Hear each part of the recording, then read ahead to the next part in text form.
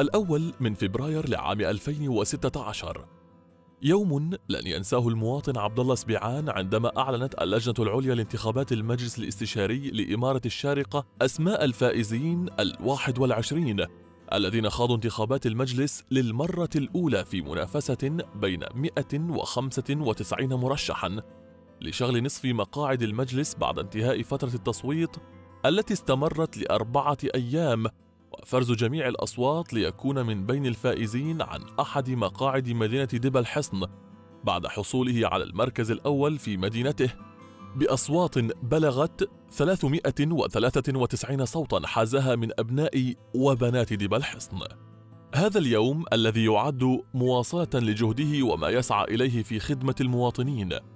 فلطالما كان عبد الله سبيعان صوت المواطن في كل وقت.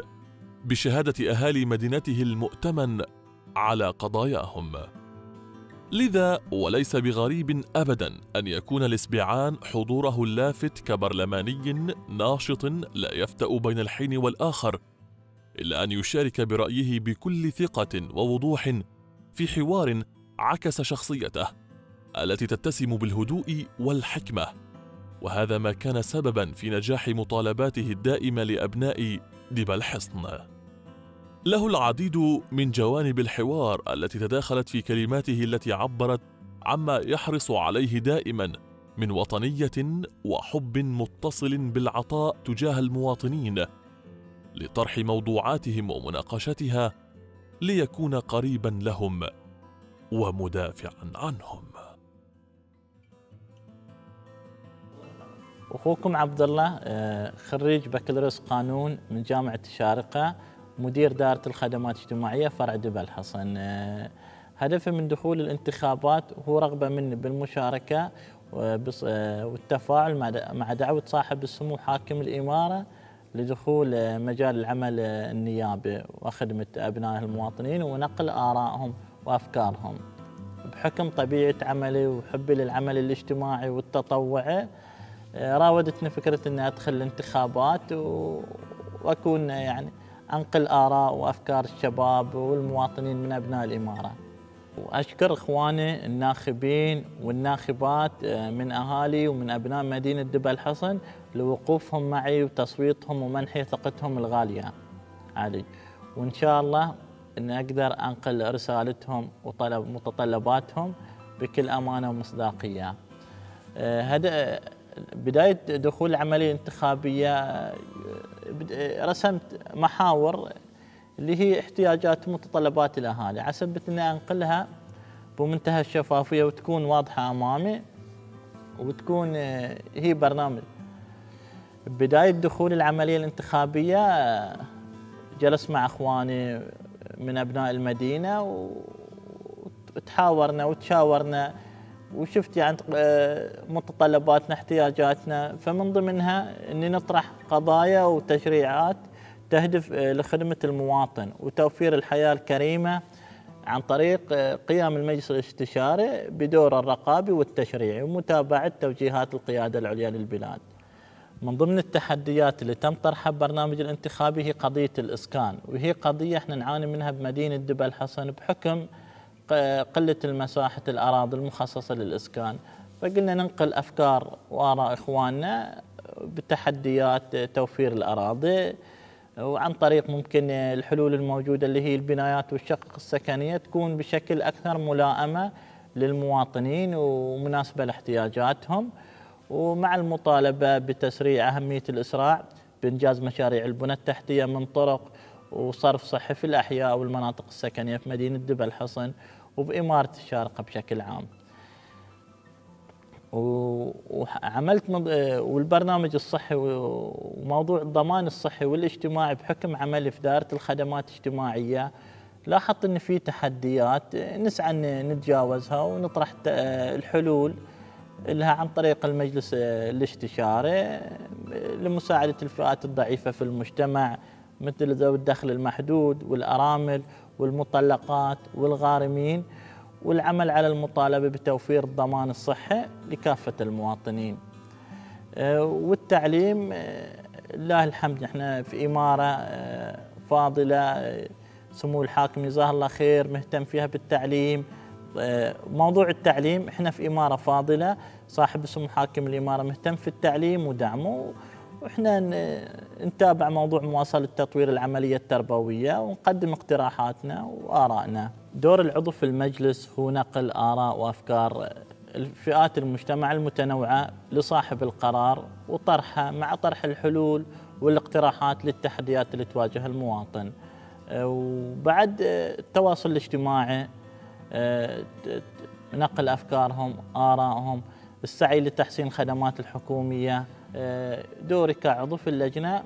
نشوف التحديات المتعلقة في عمل اللجنة وعمل المجلس ونعرضها ونجتمع مع أخواني في اللجنة وتم طرح أفضل المقترحات والحلول وعقب تبنيها وطرحها في المجلس الاستشاري مع رؤساء الدوائر المعنية. دور العضو في التواصل مع المواطنين مهم وفعال للتعرف على التحديات اللي تواجههم ومعرفة اقتراحاتهم وآرائهم بالخدمات الحكومية اللي تقدم آه، باقتراحات آه، لتطوير الخدمات الحكومية بالمشاركة معهم التفاعل آه، معهم إن شاء الله. طبعا في المجلس يتم إبلاغنا مسبقا في موضوع الجلسة القادمة.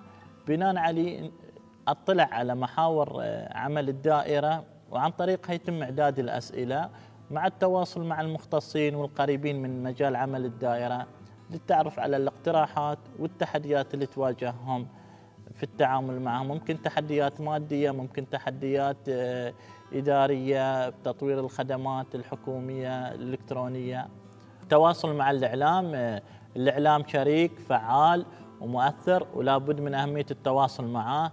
طبعا آه، أتابع برامج البث المباشر الملاحظات اللي تنقل وتطرح باب نستشف التحديات وممكن نتبنى منها اقتراحات أو حلول نتواصل فيها مع الجهات المعنية. المرأة عنصر مهم في المجتمع آه، هي الأساس هي نصف المجتمع والشباب آه، هم اكبر نسبة بين المواطنين نسبة الشباب آه، سواء من الأخوة أو الخوات فلا بد من عضو المجلس أن ينقل التحديات اللي تواجههم تواجه الشباب آه، والأخوة والخوات من ناحية فرص العمل آه، مواضيع الإسكان توفير المرافق الاجتماعية والترفيهية ومتنفسات اللي هم كحدائق وغيره والمرأة آه، طرح التحديات اللي تواجهها من ناحية حقوق المرأة والمرأة عن طريق طرح آراءها الله الحمد إحنا في دولة تقدر وتعزز من دور المرأة. وأن نطرح التحديات تواجههم ممكن من ناحية فرص العمل من ناحية إجازة الأمومة ساعات الرضاعة من ناحية دعمها للقيام بدورها اتجاه الأسرة دورها اتجاه أطفالها دعمها وظيفيا دعمها تعليميا دعمها اجتماعيا عن طريق توفير المرافق الخاصة بهم مثل أندية الفتيات مراكز التنمية الأسرية. الأطفال دور العضو من ناحية طرح التشريعات اللي تكفل حماية الطفل اللي تكفل توفير الحياة الكريمة للأسر ولأصحاب الأسر دور العضو هو طرح تحديات وأفكاره تجاه دعم الأسر ودعم وحماية الطفل وعرض أفكارهم واقتراحاتهم من ناحية بعد التعليم متابعة العملية التعليمية في الإمارة طرح التحديات اللي تواجه تطوير العملية التعليمية والتربوية في الإمارة. طبعا من ضمن الأدوار المهمة لعضو المجلس هي مشاريع التنمية. لله الحمد دولة الإمارات بشكل عام وإمارة الشارقة تشهد عملية تطوير وتنمية اقتصادية واجتماعية وصناعية وعمرانية تهدف للسعادة وخدمة الإنسان. فإحنا دورنا كأعضاء أن ننقل التحديات اللي تواجه عملية التطوير من إمكانيات إدارية أو مادية طرحها ومطالبة بعد. توفير بعض الخدمات كطرق كمؤسسات تعليمية مثل بعد متنفسات حدائق مرافق رياضية للشباب فرص عمل للأخوة والخوات العيش الكريم من أهم التحديات هو العمل لتوفير الحياة الكريمة للمواطنين فتكون عن طريق معرفة المشكلة الإلمام الكافي فيها وعقب طرح المقترحات لتوفير حياة كريمة وآمنة للمواطنين. هاي أحد أهدافه اللي أتبناها. تطوير الأداء طبعا إحنا لله الحمد دولة قادتها يسعوا للمركز الأول بجميع المجالات. فأحاول أطور من نفسي وقدراتي وأطرح موضوع تطوير الخدمات الحكومية اللي تقدم لفئات المجتمع.